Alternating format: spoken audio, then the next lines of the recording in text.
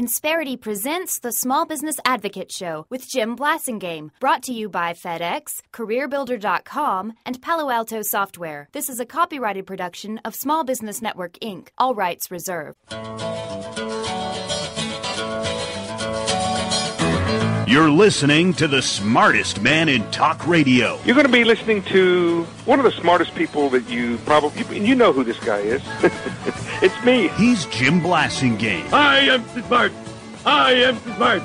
S M R T. I mean S M A R R T. The small business advocate.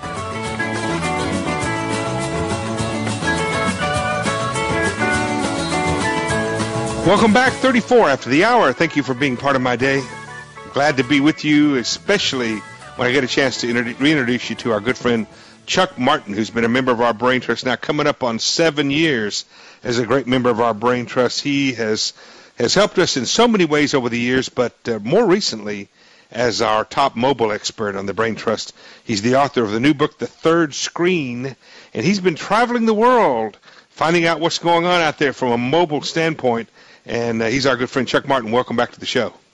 Hey, good to be here, Jim. How are you? Doing great. It's always a pleasure to have you back. You just got back from China and from Colombia. Uh, yeah. Tell us about Uh, those two. Tell us about those two trips. What did you find when you got there? How did how, how were things over there? Well, in in South America, I, I was meeting with the heads of banks throughout Latin America, Yeah. and we were we were talking about mobile and what they should be doing, and they were actually there just for mobile. So Yeah. to give you an idea of how important mobile really is, Yeah. They they wanted to know what what's going on in the mobile universe.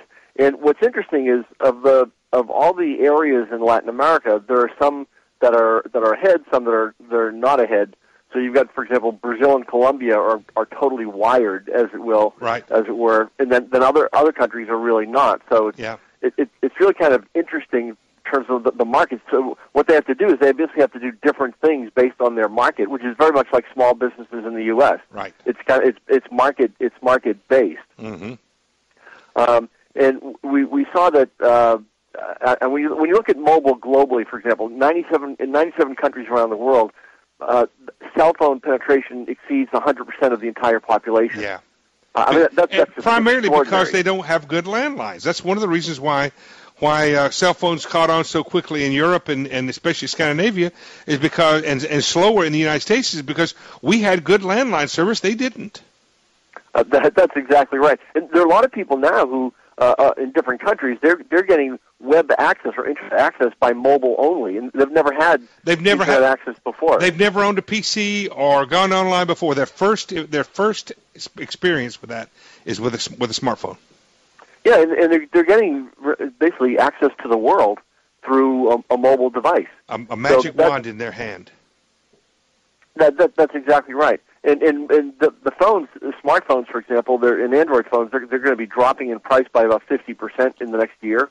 So it, it all of a sudden becomes much more uh, practical, if, Right. if you will, to to get a mobile device if you haven't haven't Mhm. had one. What- so in in the What about in, China? in Latin America, what would you find found, out? What would you find out in China?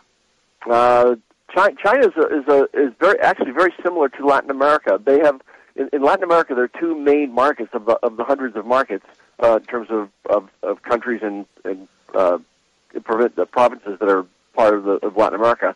Uh, is the same thing. Uh, Shanghai and Beijing are the two main markets. Then there are all these other markets that just aren't as big. Mhm. And what that means is, for both markets, the the businesses have to deal with two different kinds of audiences or customer sets.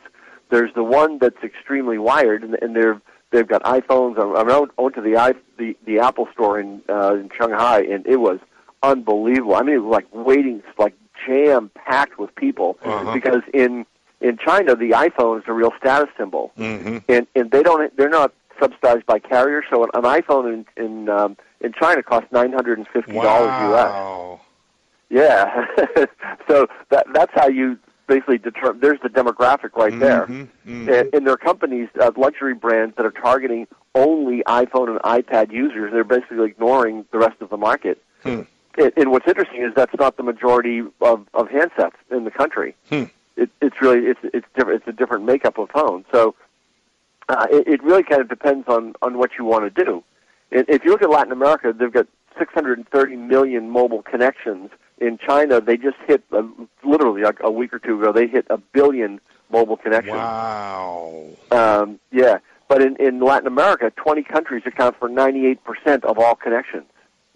So it it, it it basically depends on which market you're in. Think looking about what this is going to do to the growth of the middle class in those un, in those underdeveloped countries, those developing countries. Think about think about how this kind of access to information is going to help people raise their standard of living, raise their get educate themselves, and become more competitive. Think about that. Oh, it, it's it's going to be incredible. Um, and, and then there, there's another market that that that you don't uh, that you don't need to do deal with smartphones because they don't really they don't have smartphones. Right. Um, and and you're if you look at the handsets in in China, for example, well, give me the U.S. first. Chuck, hold, on, hold on to that. Hold on to that thought. I want to talk about the U.S. when we come back after these messages. Chuck Martin, folks, is with us. His book is called The Third Screen. He's an expert on that. Stay with us. 22. Insperity presents the Small Business Advocate Show with Jim Blasingame, brought to you by FedEx, CareerBuilder.com, and Palo Alto Software. This is a copyrighted production of Small Business Network, Inc., intended for the private use of our audience. Except as otherwise provided by copyright law, all other copying, redistribution, or publication without prior written consent is prohibited. All rights reserved.